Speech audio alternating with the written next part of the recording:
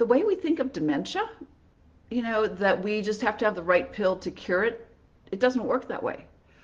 Think of dementia the way you think of emphysema.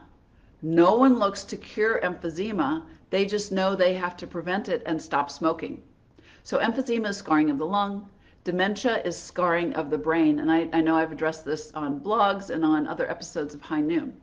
So this new medication, the abiflabimab or whatever it is that the FDA just approved, well, it has not shown to improve outcomes for the elders.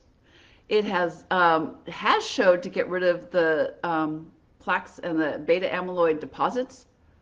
That doesn't make any difference. The problem is that you know their behavior and their um, function is not better, and then you have to worry about the brain swelling or bleeding I have never seen something like this where it hasn't shown efficacy, it has serious problems, you know, that could be life threatening, and it costs $56,000 a year, which is, you know, a nice salary for someone, but it's not a good way to do public health. It's much better. And, and, the, and the problem is that what uh, needs to happen is the money needs to go to support a better diet, you know, educating people on a better diet and exercise, or making it easier, you know, subsidizing vegetables and fruits instead of subsidizing sugar, and subsidizing physical education and opportunities for exercise for the population.